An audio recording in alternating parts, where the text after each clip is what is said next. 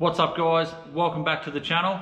Today's video we're going to be covering some of the components that uh, I do believe are essential that should be replaced or upgraded uh, during an M8 big bore build or even something as simple as a stage 2 kit. So we'll run through each of the components, uh, talk a little bit about them, what they do, what the uh, replacement upgrade is and uh, yeah, what you should be doing to make sure that you are increasing the longevity of your M8 motorcycle. So let's get straight into it.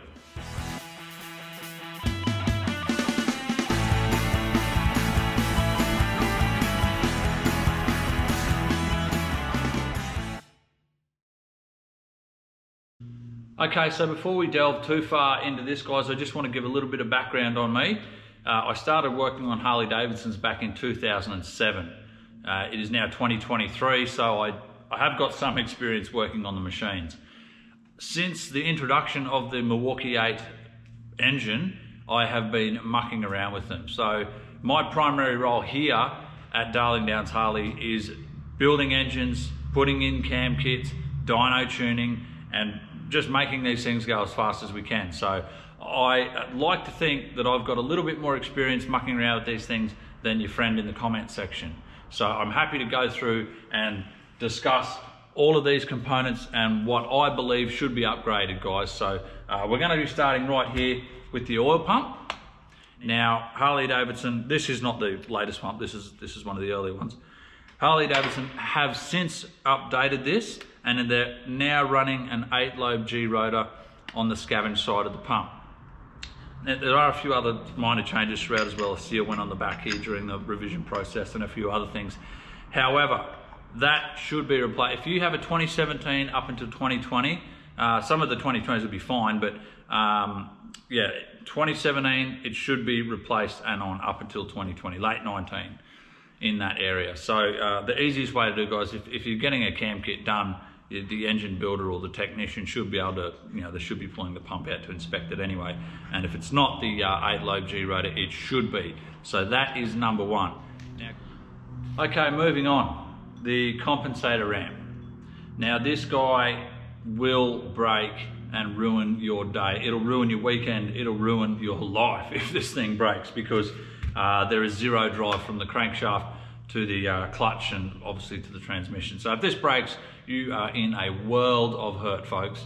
This guy has had a bad rap since day one. So I don't know if there was some issues with the casting process early on or what, but uh, this guy has been, I've seen it break on just stock 114 engines and uh, I've seen it explode on 131 cubic inch bikes. Now, there are options out there, guys. This guy, we uh, this guy is available through Alpha Performance Engine here in Australia uh, or Cyclerama in the States.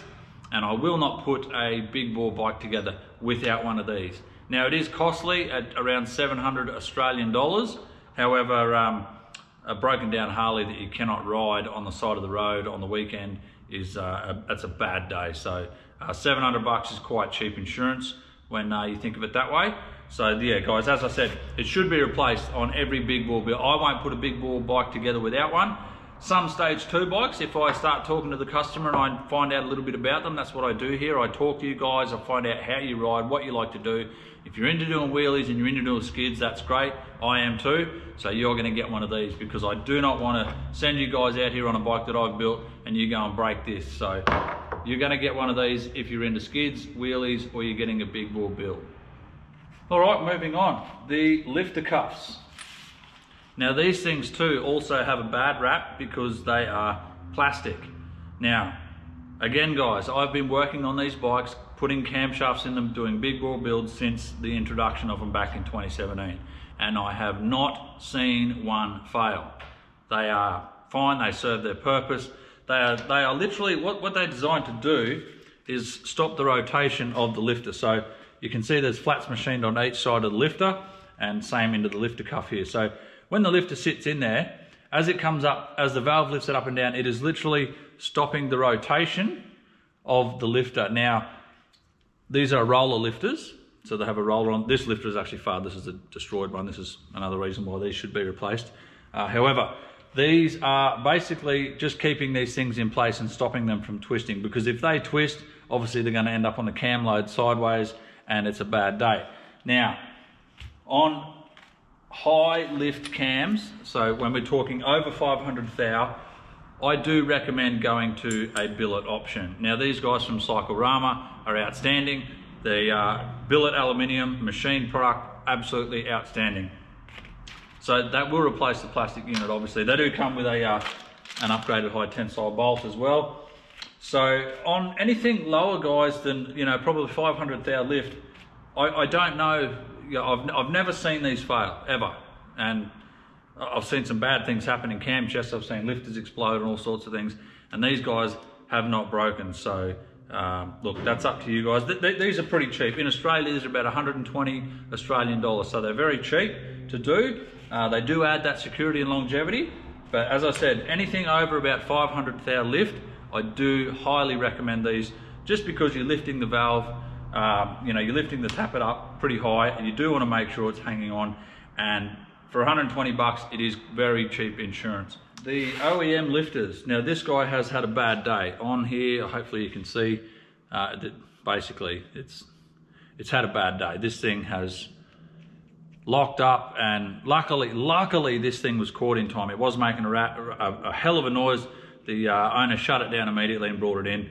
Thank god because uh, yeah that could have been a very very very bad day. However they are meant to be flat and and symmetrical and round it's a roller lifter right? So that's what they should be doing.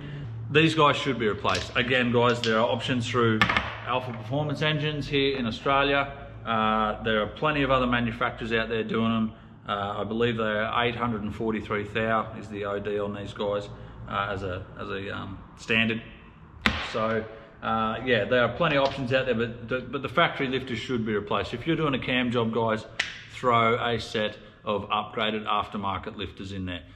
All right, guys, the factory inner cam bearing. Now, I hope you guys can see, but this is what they call a caged needle roller. So the needle rollers here are put into a cage that holds them in place and basically that is the the simplicity of that now there is an aftermarket well there is an option through Harley and aftermarket that what they it is what they call a full complement bearing so all the needle rollers again I hope you can see all the needle rollers are butted up against one another and that adds a lot of strength to the bearing and ensures that the uh, camshaft is supported uh, as, as best it can be. Now I will not put a stage 2 bike together without one of these. They're under $50 here Australian. And uh, as I said, if your bike's getting an aftermarket camshaft, it's getting one of these bearings because if that guy fails, uh, that's in the cam chest, that could go drop. If this fails, obviously your camshaft's gonna come down and rattle around inside your, your, yeah, your cam chest. Uh, this is gonna fall apart, the oil pump could pick it up, it's gonna just lunch everything. It's a bad day. So yeah, for under 50 bucks uh, Australian, uh, thereabouts, this guy is going in your bike if it's a stage two and up. All right, clutch springs, guys. So the uh, factory clutch in the M8 engine um, is, is honestly, it's pretty good. Now again, guys, I've been mucking around with these things since their introduction back in 2017, and I haven't had a clutch issue yet. Sure, you will burn a clutch out if you abuse it.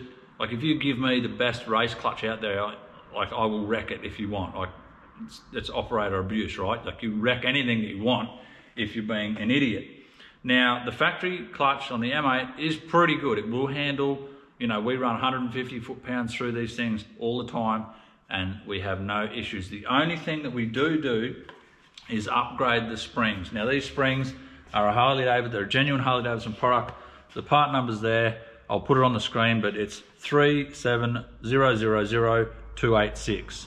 Now, they are the 1275 Newton springs. Newton meter springs and uh, they hold the clutch together absolutely fine. We race these things on, on them and as I said guys, we run over 150 foot-pounds through these clutches with these springs in there and we don't have a problem.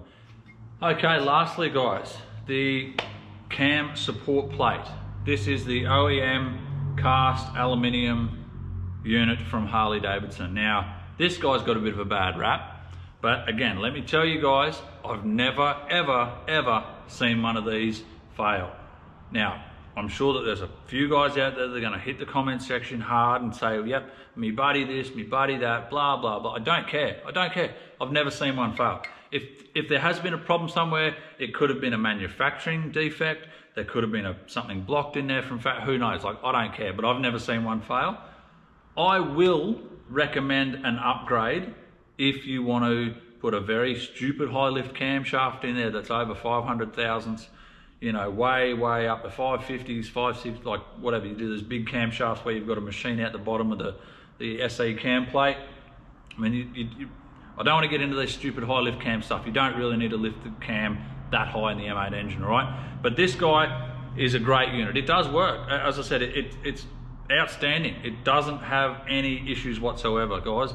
I will re recommend going to the Screaming Eagle high volume oil pump and cam plate kit if you want to upgrade to something. Okay, I'm not going to stop you. If you want to spend the money on, you want to upgrade your oil pump and uh, your cam plate to an option, go for it. I highly suggest the Screaming Eagle one. The reason I suggest the Screaming Eagle option over the Feuling Race, the Pro Race Series or whatever it is, and the S&S one is because the Screaming Eagle one is the only one that I have seen that has not failed. I've seen the S&S ones fail, the brass bushing in there is mucked up, and the Feuling one, I've seen issues there too. Some guys have had them sumping and all sorts of things. Now, I'm not saying that that's an issue with the product, that could have been an issue with the technician that put it together, like I don't know, but all I know is that the S&S one and the Feuling one, I've seen them fail. Feuling do have an option that is just a cam plate, it's called the OE Plus. Now it will work with the factory oil pump. That is a very cheap option and I do recommend it for guys who just want to put one in there for security reasons and they if you just don't like this that's fine. There is an option from Feuling it's called the OE plus and uh, I've fitted them before you've seen a lot of my other videos I've fitted them in those and uh, they do work just fine. They're a little bit stronger and uh, you can there's bungs in them you can pull them out flush them out and clean them. So they are great. So yeah that's pretty much it guys. Uh, that runs through all the components that I believe should be upgraded no matter what uh, or I do have an option for you to upgrade them too. But uh, paramount, guys, is obviously the oil pump. If you're running a bike that's earlier than 2020, you should be getting that oil pump looked at and replaced to the eight lobe factory uh, pump from Harley Davidson or the Screaming Eagle option. I do not recommend the S&S uh, or the Feuling pump and plate combo. The only pump plate combo I do recommend is the Screaming Eagle one. So guys, I hope that uh, dispels a few myths. Again, I've been mucking around with these things since day one. Since they, since the first M8 came into this workshop, I put it straight up on my bench here, pulled it apart, got into it, put a cam in it because that was all that was available at the time. Uh, and then as soon as there was big bore kits, I was putting those in, doing the 117s. We did a 120 back then that was big for those. I mean, now we bought 128s onto these things, 131s. We do 143s with them now. Like the sky's just, the ceiling's just getting high with these things. So uh, look, I'd like to think I've got a little bit of experience when it comes to the components that fail and the components that do need to be replaced, guys. So uh, if you want to take anything away from this, uh, I hope you I hope you do take something away from this, sorry, and uh, really take it on board and, and just don't get too caught up in the hype that's out there on Instagram and the internet when you know that this should be replaced, that should be done, and and all that sort of stuff. Because all it does is just put doubt in your minds. It puts doubt in the other customers' minds, it puts doubt in other technicians who are not quite competent yet, who are still finding their way in the performance game. So, yeah, those are the few options that I recommend to do, guys. I hope you found this interesting, and I'll see you again in another build video real soon.